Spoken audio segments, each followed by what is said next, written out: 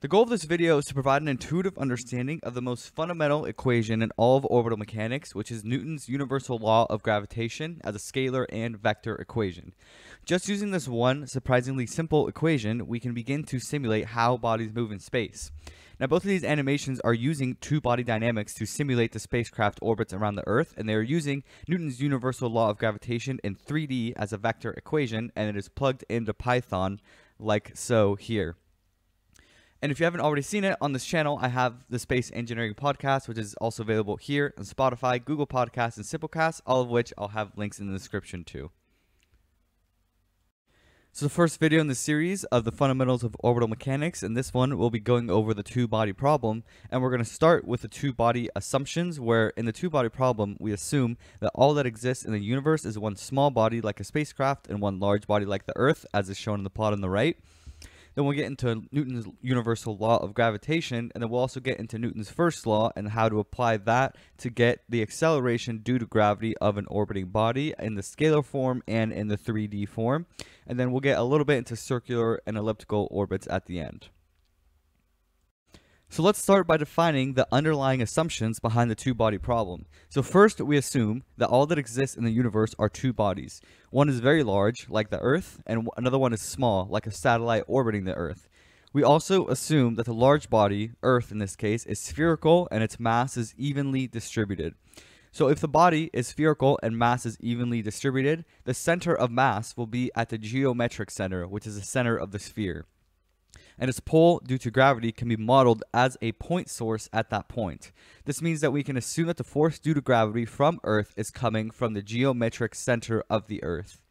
And we must also assume that the small body does not gravitationally influence a large body. And this is a good assumption because the pull of something so small like a spacecraft is not going to influence the orbit of an object so massive like the Earth. So this is a good assumption. And lastly, we'll be using an inertial reference frame centered at the geometric center of the large body, which is Earth. And the inertial frame is shown in the white arrows on the plot here, centered at the center of the Earth. And even though these are a lot of assumptions and this can seem way too restrictive, you can still do a lot of very useful analysis with the results coming out of these assumptions. Once we have all these assumptions, we arrive at Newton's universal law of gravitation, which states that the force due to gravity on the small body is equal to the mass of the large body times the mass of the small body times the gravitational constant of in our universe divided by the distance between them squared. Now note that this r is the distance between the geometric center of the large body and the small body, not the surface to the large body and we are interested in finding the acceleration because this is how we can simulate the motion of orbiting bodies. So to get the acceleration, we must use Newton's first law, which states that the force applied onto an object is equal to the object's mass times its acceleration. And now this is true when the mass of the object is constant, which is true in this case. So we can then set these two equations equal to each other to find that the mass of the small body cancels out from these equations, leaving us with the scalar form of the most fundamental equation in all of orbital mechanics, which says that the acceleration of the small body is equal to the gravitational constant times the mass of the large body divided by the distance between them squared. And since for each large body, their mass is constant, say the Earth's mass is relatively constant, and the gravitational constant is constant in our universe, so their product is also constant. So we use that new constant called mu, and every body in the solar system has their own mu value. So in this equation gets even simpler to say that the acceleration of the small body is equal to mu times the distance between them squared. So in order to create 3D simulations of orbits, we need to extend that equation into three dimensions using vectors. So we turn that r that was a scalar before into a vector, which is the vector pointing from the center of the large body to the small body at any given point, which is shown in purple here on the plot. And this vector has x, y, and z components since we are doing this in three dimensions. And then we also need to add this negative sign because the acceleration due to gravity is pointing in the exact opposite direction from the position to the small body. So the position of the small body is modeled as the center of the Earth to the body, but then the acceleration is going opposite of that, which is why we have the negative.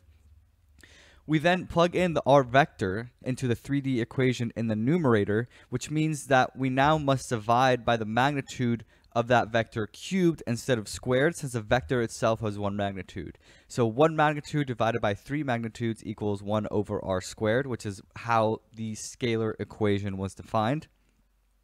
And putting all this together, we get that the vector acceleration here which is a differential equation that we use to solve for the motion of the small body. Now this is a differential equation because acceleration is a second derivative of position and in order to simulate the motion of the small body and make plots like the ones I've showed in this video, we need to solve for the position of the small body over time. So the derivative of position is velocity and then the derivative of velocity is acceleration which is what we have here. And this equation in its 3D form is exactly how it's plugged into software, which I would have a lot of videos on this channel showing how to apply it. And this series of fundamentals of orbital mechanics we'll be walking through in greater detail than I've shown before of how to actually plug in this equation. So this is the differential equation that I have in the Python software. And I have a lot of other stuff because this also accounts for attitude control. But if we're just looking at the 3D motion of the orbit, here is the fundamental equation right here with the acceleration of the spacecraft is equal to negative r, the position, times the central body mu value divided by the norm of that r vector cubed. So after plugging in the dynamics of Newton's universal law of gravitation, we arrive to Kepler's first law, which states that the orbit of each planet is an ellipse with the sun at a focus. And this is the same thing as saying the orbit of any small body is an ellipse with the with the large body at the focus for the two body problem.